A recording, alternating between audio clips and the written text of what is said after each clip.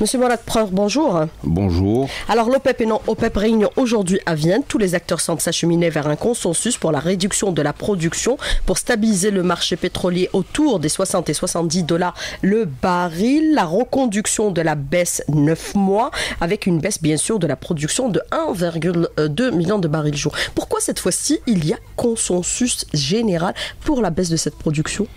En fait, euh, bon, c'est une bonne nouvelle. Euh, ce, qui, euh, ce qui est certain, c'est que le, le, marché avait, euh, avait induit une, une volatilité des prix qui, qui avait inquiété les principaux producteurs. Et c'est ainsi que les prix avaient connu une une, baisse relative. Hein. Euh, Aujourd'hui, euh, depuis, euh, depuis le début de l'année, les prix ont pris 25%.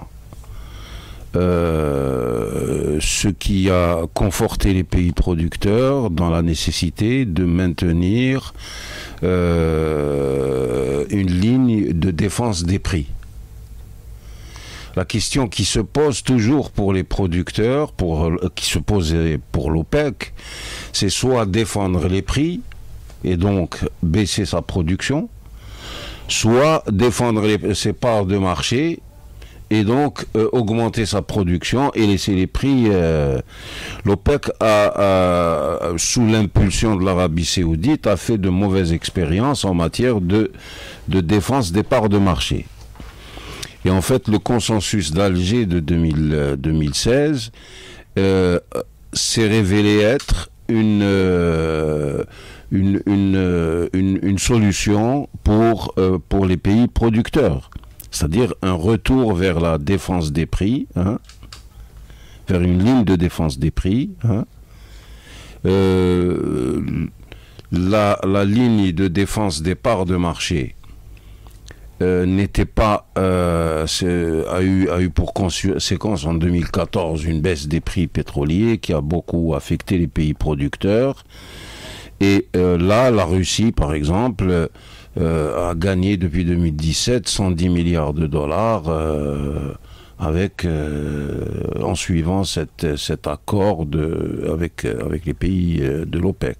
Mais stabiliser les prix autour un peu des 60 et 70 dollars le baril, est-ce qu'on peut considérer que cela convient quelque part aux producteurs et à la fois aux consommateurs? Est-ce qu'on est en situation de surproduction puisque nous savons que maintenant les États-Unis arrivent à produire l'équivalent de 12 millions de barils, un peu plus de 12 millions de barils au jour, voilà, avec les non conventionnels. Bon, euh, l'année passée, ils étaient à 12,4 euh, millions de barils par jour, hein, les États-Unis. Euh, cette année, ils sont à 12,1. C'est le, premier producteur, mondial.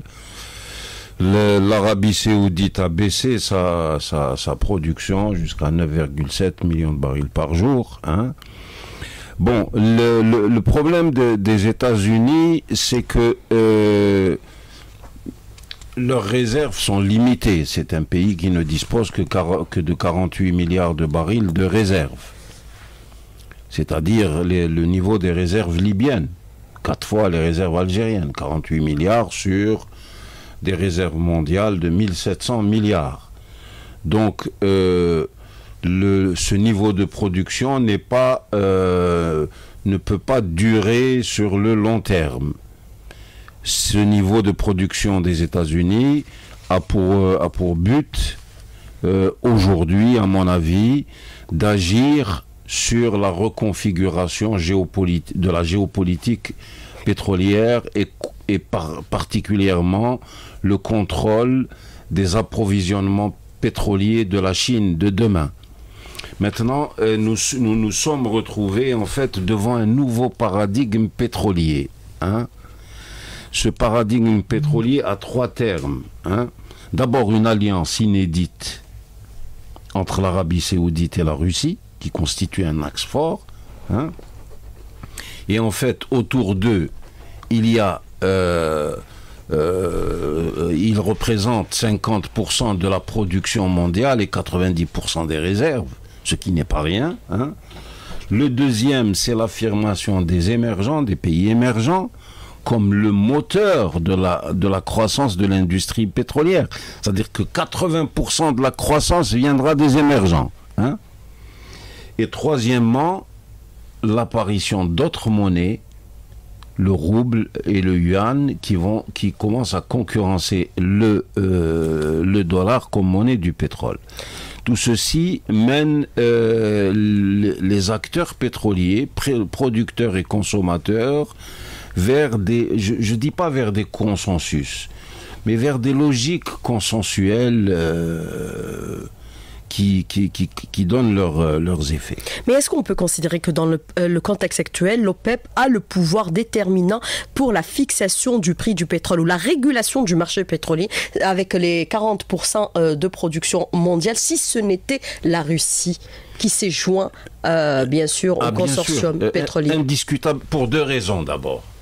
Premièrement, tout, tout, seul, elle n'accepte pas de supporter euh, le, sacrifice de baisser sa production pour défendre des prix pour que la Russie en profite. Dans ce nouveau paradigme pétrolier, effectivement, il y a, euh, il y a aussi trois éléments. Le premier, c'est un accord entre l'Arabie saoudite et la Russie pour euh, que les prix évoluent dans un sentier qui euh, ne décourage pas, qui ne, euh, qui ne détruit pas de la demande et qui permet le développement économique. L'Arabie saoudite a des besoins avec son projet Vision 2030. Elle a, elle a un déficit budgétaire de 100 milliards de dollars et elle le traîne depuis 5 ans. Hein. Donc, le deuxième élément de cet accord tacite entre l'Arabie saoudite c'est qu'il y ait une responsabilité partagée avec les consommateurs dans la défense des prix. Avec les, autres producteurs, avec les consommateurs, avec les autres producteurs non OPEC. Hein? Et le troisième, euh, c'est euh, défendre les, hydrocarbures contre les énergies non carbonées qui les menacent, notamment dans le secteur des transports. Donc tout ça fait que le maintenant nous avons un noyau dur à l'intérieur des pays producteurs et qui représente 50% du marché pétrolier, 90% des réserves. Ce noyau dur, c'est euh, c'est l'Arabie saoudite et la Russie.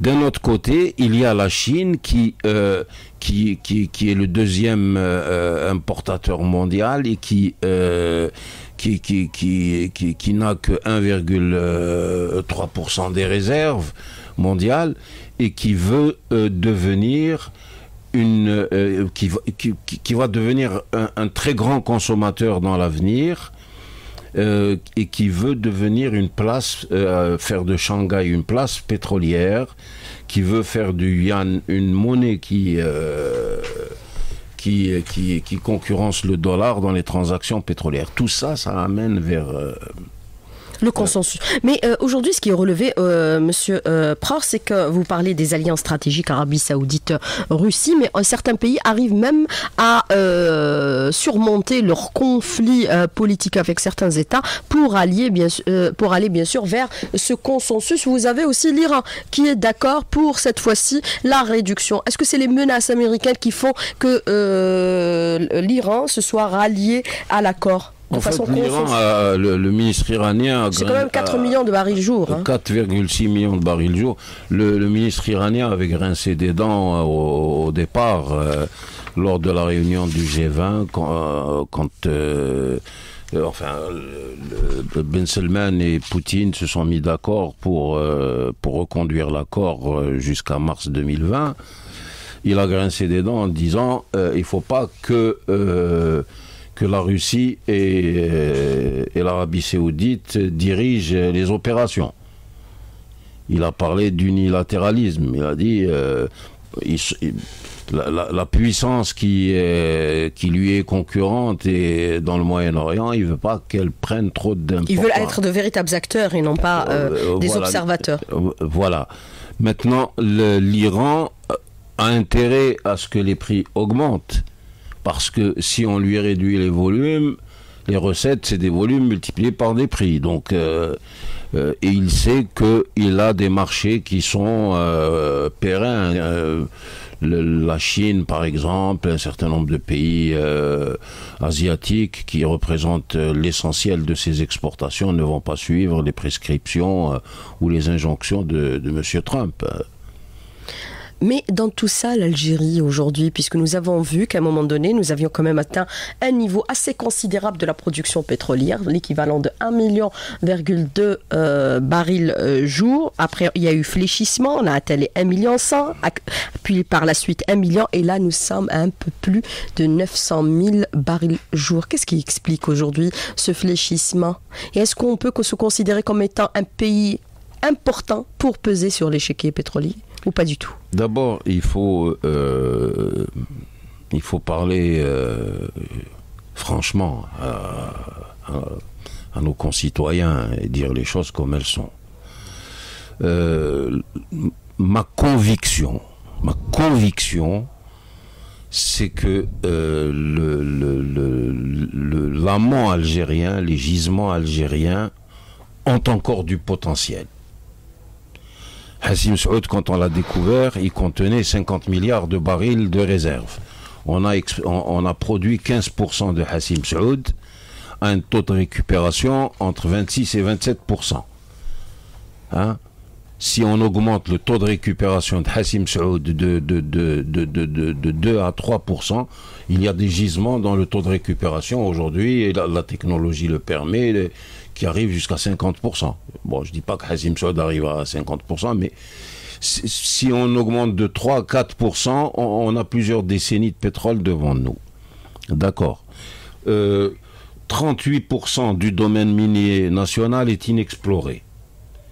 Euh, nous avons euh, un potentiel en offshore de 100 000 km qui, qui n'est pas encore exploré. Donc, premièrement, l'exploration peut donner beaucoup. Deuxièmement, l'amélioration du taux de récupération de nos, de nos gisements hein, euh, également peut beaucoup donner. Alors la question qui se, qui se pose, c'est qu'on a ralenti, on a ralenti le développement et les investissements dans le développement de notre, de notre amont pendant euh, plus d'une décennie. Et euh, on, a, euh, on, a, on a perturbé le développement naturel, parce qu'un gisement c'est vivant. Si vous n'investissez pas, vous lui faites mal. Alors, euh, Monsieur je reviens sur ce que vous avez déclaré dans la première partie de l'invité de la rédaction. Vous avez dit qu'on a ralenti l'investissement dans l'amont, c'est-à-dire dans l'exploration. Vous avez déclaré aussi qu'un gisement qu'on n'exploite pas, on lui fait mal. Qu'est-ce qui s'est passé ces dix dernières années alors qu'on disait et qu'on parlait de, l'explosion de la production nationale dans le domaine pétrolier? Monsieur. Bon, le, Est-ce qu'on disait, on montait aux Algériens? On leur disait n'importe quoi? Moi, je, je, ne veux pas rentrer dans le, dans, dans le, dans, le jugement euh, des. Mais euh, je, je, parle froidement comme, euh, comme expert. Je dis que l'investissement dans le développement de l'amont a été brutalement ralenti. Premièrement. Deuxièmement, la réglementation, la, la loi on a touché la loi, euh, on, a, on, a, trop malmené la loi sur les hydrocarbures. Et le monde du pétrole est un monde euh, où, il, y a le risque. C'est un monde où on, on, investit beaucoup sur le long terme. Les pétroliers n'aiment pas qu'on touche trop à la réglementation. Nous avions la loi 86-14 avec en son cœur le contrat de partage production, hein, qui, euh, qui protège la souveraineté de l'État et qui rémunère convenablement euh, euh l'État pour l'exploitation des ressources pétrolières par le partenaire étranger. pendant 20 ans, de, 2000, de 86 à 2005, il y avait une stabilité. Et nous, quand on faisait la promotion du domaine minier algérien, on disait domaine minier prospectif, stabilité juridique. On le disait dans les rencontres internationales, etc. En une année, on a changé deux fois la réglementation. 2006, 2005, puis amendement de 2006. Puis ensuite 2013. Ça, les pétroliers n'aiment pas. Et la loi qui a été euh, promulguée en, 2005 est une loi qui est, que, les, pétroliers ne comprennent pas. Les, juristes des compagnies pétrolières connaissent le contrat de partage production. si vous changez une virgule dans le contrat, ils, euh, ils, voient appel à l'ordre. on a trop malmené la réglementation, donc on a brouillé l'image de notre pays et il y a eu un, désintérêt des compagnies pétrolières internationales pour, euh, l'amont algérien. Et euh, un moment où euh, c'est ça ce qui, qui, ce, qui, ce qui choque, hein, un moment où l'investissement dans le monde, dans l'exploration-production, avait atteint des pics historiques. 721 milliards de dollars en 2013 c'était entre les 600 et 700 milliards de dollars chaque année. Et euh, on avait euh, brouillé l'image de notre pays. Bon, la conséquence, c'est que euh, à terme, la production euh, s'en ressent. Et c'est ce que nous. mais ça ne veut pas dire que les gisements algériens sont, sont morts. Ou, non, je pense qu'ils ont du potentiel et mais ce désintérêt des compagnies étrangères, c'est ce qui a fait la baisse un peu de l'exploration de notre pays. Essentiellement, est-ce qu'on n'en avait pas les capacités à explorer seul, puisqu'on a eu quand même euh, des entrées en devises qui étaient assez conséquentes dans ce domaine-là? Domaine, euh, il faut, euh, il faut quand même clarifier cette question. Dans le monde du pétrole, quand vous avez 100 à investir, vous l'investissez et vous, vous le faites, on dit 4 fois 25, c'est supérieur à 100 parce qu'il y a le risque, euh, le risque géologique, le risque commercial, le risque géopolitique, le risque financier, etc., qui fait que vous devez partager le risque. Et euh, d'un autre côté, les partenaires étrangers apportent la technologie. Et, euh, dans, le, dans la loi 86-14, c'est ça ce qu'il faut savoir, c'est que Sonatrach n'investissait pas un seul dollar et euh, elle avait euh, ensuite 51% euh, de, de, de, la production, plus de 51%. Hein et elle n'investissait pas un seul dollar. Il faut revenir à ce principe, la loi 86-14 C'est ce que je recommande.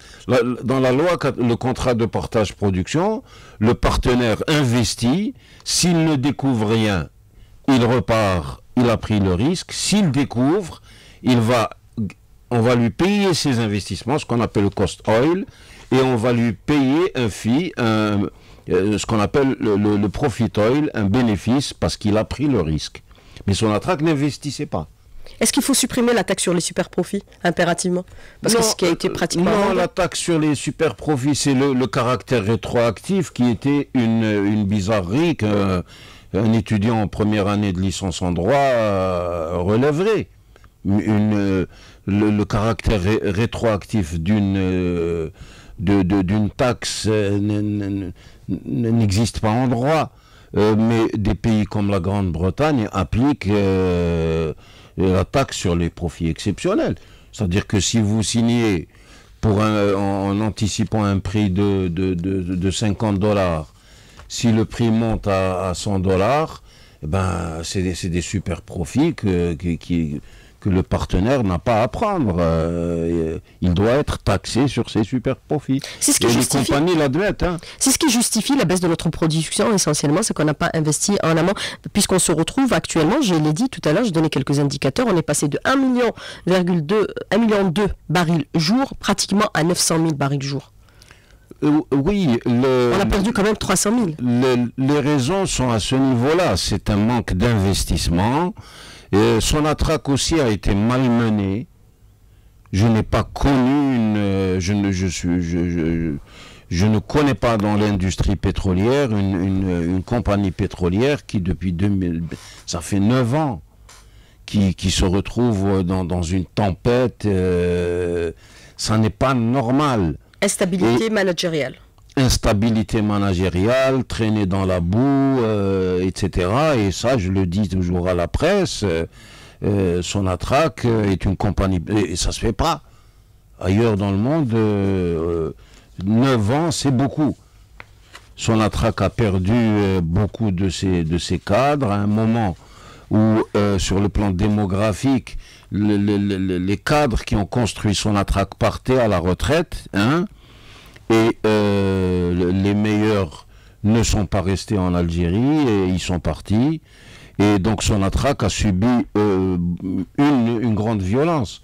Et aujourd'hui, le management de Sonatrach est en train de faire euh, l'impossible pour tenir des engagements, parce qu'elle a une double, une double caractéristique. D'abord, elle finance l'économie nationale, et deuxièmement, elle assure l'équilibre énergétique, les équilibres énergétiques nationaux, et elle doit les assurer sur le long terme Et qui sont en augmentation. et qui sont en augmentation. C'est-à-dire qu'une consommation qui, euh, qui, qui, qui, qui, augmente exponentiellement, hein, euh, notamment gazière. Euh, euh, il faut suivre cette, consommation. 40 milliards de mètres cubes de gaz est consommé. En 2030, ça sera 50 milliards de mètres cubes de gaz. Bon, il faut, ils viennent de quelque part, euh, ces, mètres cubes. Et donc Sonatrach, euh, son- le, management de Sonatrach est sous pression, Sonatrach est sous pression, parce que en même temps, il faut répondre aux besoins de financement de l'économie, et en même temps, il faut assurer les équilibres énergétiques. Mais justement, par rapport à ce financement de l'économie, fin- financement énergétique du pays euh, à travers tout le territoire euh, national, nous avons euh, actuellement les recettes en devises de Sonatrach sont peut-être sont vraiment en baisse depuis quelques années. Il y a eu une légère augmentation cette dernière année, celle de 2018. Mais est-ce qu'on peut considérer qu'avec cette baisse un peu de la manne financière de l'Algérie, parce que ça représente un peu l'argent de l'Algérie, est-ce qu'on peut considérer que cela va affecter également directement la Sonatrach qui risquerait de connaître des situations de déficit Ça peut se répercuter sur Sonatrach, Bon. directement ou indirectement? Oui, à chauffer. Dans, euh, le- le- la logique de notre métier de pétrolier, c'est que les compagnies pétrolières doivent toujours être prêtes à, à- à résister à des périodes de dépression. Donc, euh, il faut renforcer son attraque. Il faut la soutenir. Mais une compagnie pétrolière, c'est comme un bateau qui, doit être construit pour résister à une tempête. Hein parce que le marché pétrolier est, très euh, volatile. hein. Et donc, il peut y avoir des périodes de dépression et les compagnies qui ne sont pas euh, robustes euh, ne résistent pas. Et Sonatrach, il y a le patriotisme de, de son, de, de, de- de, son, euh, de, son personnel, de, ses ingénieurs qui sont au Sahara, qui sont, euh, qui sont dans les structures centrales. Il y a la compétence. Tout de même, ils opèrent des installations qui sont comparables à des installations qu'il y a au, au Texas, au- en Alaska, en Europe, etc. Et ils les opèrent dans de bonnes conditions. La preuve, parce que dans, dans- le pétrole, si vous faites euh, mal les choses, ça explose. Donc il faut renforcer son attraque. Ça, ça doit être un, objectif euh, stratégique d'État. hein. Alors, euh, autre question que je voudrais vous poser, Monsieur Prart, finalement, quand on se réfère un peu aux indicateurs chiffrés par rapport à notre baisse de production, qui est l'équivalent actuellement de 900 000 barils jour, nous sommes un tout petit pays pétrolier, nous ne sommes pas un grand pays pétrolier qui pourrait peut-être peser sensiblement sur l'échiquier. Euh, notre production ne représente que l'équivalent de 0,9% de la production mondiale. C'est peu. Chauffez moi la thèse que j'ai toujours développée. La thèse que j'ai toujours développée, c'est que les compagnies pétrolières nationales sont le grand acquis de l'histoire militante des pays producteurs, davantage encore que les nationalisations. Les nationalisations n'ont pas de sens s'il n'y a pas de compagnie nationale. Et donc la puissance pétrolière de l'Algérie ne va pas provenir du niveau de ses réserves et de ses productions, mais de la compétitivité de la puissance de son attraque. Ça, des pays comme la Chine l'ont compris. Des pays comme la France, qui ont trois gouttes de pétrole dans leur sous-sol, l'ont compris en construisant des, des géants énergétiques. Donc, renforcer son attraque sur le plan technologique et managérial, c'est ça l'avenir. Parce que si nous avons 2,7 milliards euh, trillions euh, de, de, mètres cubes de réserves de gaz, si vous voulez multiplier par deux, ça ne fait jamais que 5,4. Euh, Il y en a 77 au Moyen-Orient. Trillions de mètres cubes de... Il y, a, il y a 200 trillions de, de mètres cubes de réserves dans le monde. Nos réserves pétrolières sont de 12 milliards de barils. Il y a 1700 milliards de barils de réserves mondiales. Si on multipliait par deux nos réserves pétrolières mondiales, on resterait toujours... Euh, mais euh, nous avons une compagnie qui, par exemple, dans le gaz, elle a la meilleure expérience mondiale dans la liquéfaction du gaz naturel. Puisque la première usine dans le monde, en 1964, c'était euh, c'était en Algérie elle a une expérience, son attraque maîtrise toute la chaîne pétrogazière. Ce sont des Algériens formés dans l'école algérienne qui gèrent depuis les gisements jusqu'au euh, euh, port ou aux raffineries. Donc il faut renforcer son attraque et c'est la, la tendance au niveau des, pays producteurs. Hein. Alors, est-ce qu'il va falloir investir davantage et est-ce que Sonatrach en, a, on a les capacités aujourd'hui? C'est la question de l'auditeur.